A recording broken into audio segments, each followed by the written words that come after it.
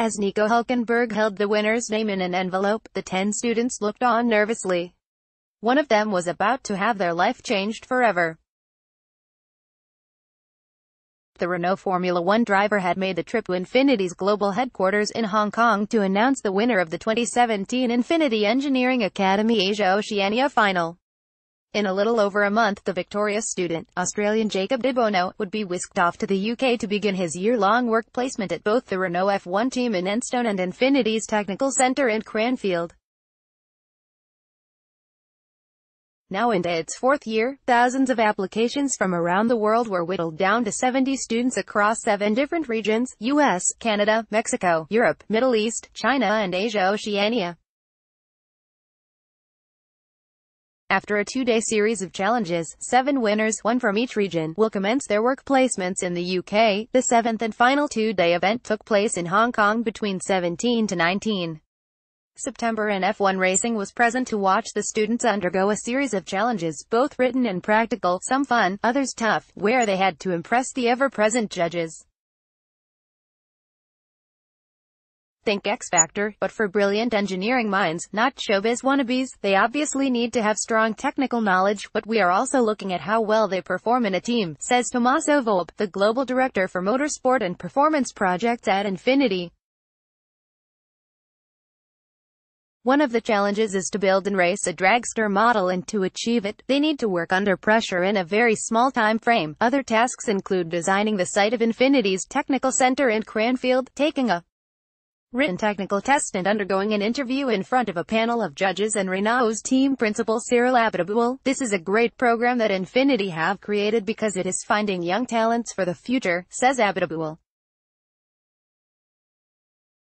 We are recruiting a lot at the moment and the fact students get the chance to work both at the Renault F1 team and at Infiniti is a great way to get understand the engineering philosophies across both the automotive and Formula One industries. This project makes a lot of sense from Infiniti, he continues. It's cost-effective and is a chance to invest in people because the talent of today is the performance of tomorrow. Of the seven winners last year, a number have been given permanent contracts at either Renault or Infiniti, while the remainder have returned to university to continue their graduate studies.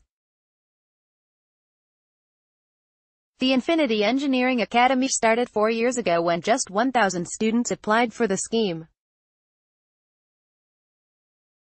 This year 12,000 CVs were submitted from around the world and the Academy is expecting an even bigger number of university engineering graduates will apply in 2018. Having flown over to Hong Kong from the Singapore Grand Prix, Renault's Nico Hulkenberg helped the students in their dragster challenge and the German racer was impressed with their talent and teamwork. I think the Infiniti Engineering Academy is special and unique for these students to have this opportunity, because it's not easy to get to Formula One, said Hulkenberg.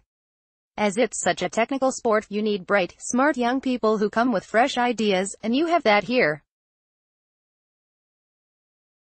That can ultimately make a difference to your results and your performance. Think you have the engineering X factor? Then consider applying for next year's competition. How to apply if you're a current engineering student and fluent in English then get your CV and application in for the 2018 Infiniti Engineering Academy for the chance to win a year-long work placement at both the Renault F1 team and at Infiniti's Technical Center in Cranfield, six months each. Click here for more information. Q. So we launched the Infiniti Engineering Academy in seven regions around the world, Mexico, US, Canada, Europe, Middle East, China and Asia Oceania. What do the seven winners get? They get work placements at the Renault Sport F1 team and a further six months at the Infiniti Technical Center at Cranfield. I don't know of another program that does this for their students. Automotive and Formula One are different playgrounds but engineering principles are the same. Once we have these winners, we place them in the best field for their profile, so they will be placed in either vehicle dynamics or electronics or aerodynamics, depending on their area of study or skills. How has the Infiniti Engineering Academy grown in the past four years? The first year we had 1,000 applicants and three winners, the second year we had 2,000 applicants and five winners and then 4,000 applicants and seven winners. Now we've had 12,000 applicants and we have ideas to evolve it further into next year. How do you select the winners? There are two phases to determining who comes out on top. Firstly, candidates from around the world apply on our website, then there is a screening process to get down to the 10 best candidates for each of the 7 regions, then we invite the 10 best candidates and ask them to do several challenges over a two-day event. Some are fun, some are tough, but we test them on various things from different angles.